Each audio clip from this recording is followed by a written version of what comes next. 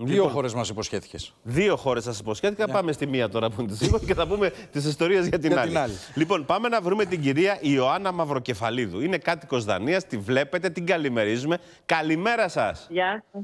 Καλημέρα. Λοιπόν, πού σα σας βρίσκουμε στη Δανία τώρα, σωστά; Ναι, ναι, τώρα βρίσκομαι στη Δανία. Εδώ και δύο χρόνια έχω μετακομίσει στη Δανία.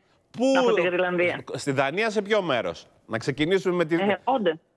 Μάλιστα. Όντενσε.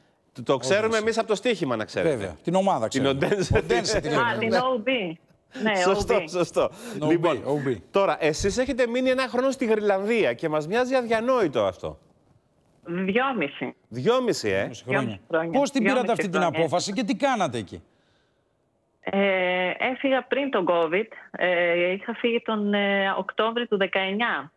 Ναι. Και έφυγα γιατί ήθελα να εργαστώ και ως κοινωνική λειτουργός και γνώριζα ότι υπήρχαν πολλά κοινωνικά προβλήματα ε, και υπήρχε ζήτηση ε, για κοινωνικούς λειτουργούς, οπότε το θεώρησα, θεώρησα ότι ήταν ευκαιρία.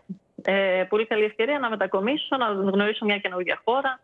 Ναι, μου άρεσε το χιόνι, μου άρεσαν οι πάγοι, ήθελα να δω τη Γρυλανδία. Ναι. Και, Και πώς ήταν, είναι η ζωή ε, εκεί. Δεν το, σκέφ... δεν Πώς το είναι- σκέφτηκα και πολύ Ναι. αλήθεια. Έστειλα την αίτηση ενδιαφέροντας ε, το, το βιογραφικό μου και με πήραν κατευθείαν. Και πώς είναι η ζωή εκεί; Ε, πολύ ωραία. Πολύ Εμένα ωραία. μου αρέσει, γιατί μου αρέσει πάρα πολύ το κρύο. Μου αρεσει το χιόνι, μου αρέσουν οι πάγοι ε, και γενικά μου αρέσει η φύση. Οπότε ένας άνθρωπος που, σε έναν άνθρωπο που αρέσει η φύση είναι το καλύτερο μέρος να επισκεφθεί και να ζήσει. Μάλιστα. Ε, δεν είναι πάντως μ, κάτι εύκολο έτσι. Δεν είναι. Φεύγουμε, πάμε σε μια χώρα της Ευρώπης, πάμε ξέρω εγώ, στην κεντρική, νότια Ευρώπη και τα. Είναι Γρυλανδία, όπως και να το κάνουμε. Ε, το, καλ... ναι, το καλό είναι ότι στη Γρυλανδία ε, οι άνθρωποι είναι πολύ φιλικοί, δεν υπάρχει εγκληματικότητα. Οπότε η προσαρμογή είναι πολύ εύκολη. Ε, η κουλτούρα τους είναι πολύ κοντά στη δική μας. Είναι πολύ ανοιχτοί άνθρωποι, φιλόξενοι, καλόκαρδοι, χαρούμενοι. Ε, και να σας πω την αλήθεια, ένιωσα πολύ καλύτερα στη Γρυλανδία από ότι στη Δανία.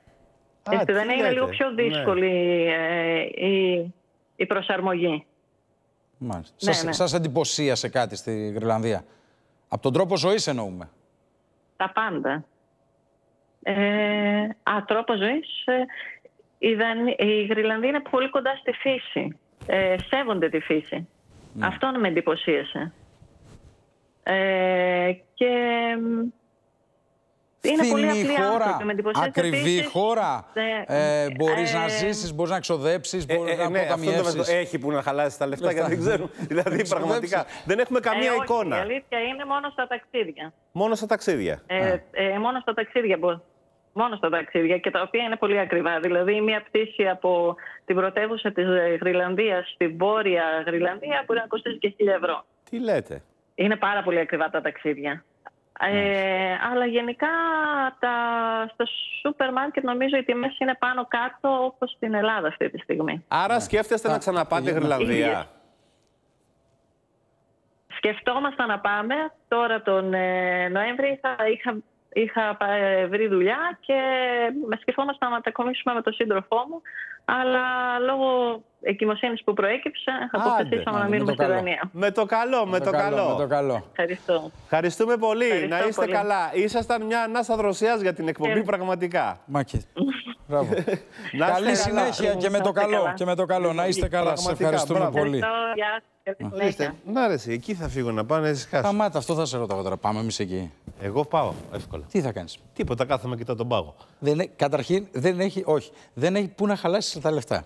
Και τι, αυτό είναι καλό. Θα σου δίνουν λεφτά. Ναι, και θα τα κρατάω. δεν έχεις πο- Ε, μετά μου έρθεις εδώ να χαλάσεις όλα ο μαζί. μοναδικός τρόπος για να μην, ε, να, να μην κανένα φράγκο είναι να μην έχεις πάντα χαλάσεις. Μάλιστα. Το χιόνι, Μια χαρά.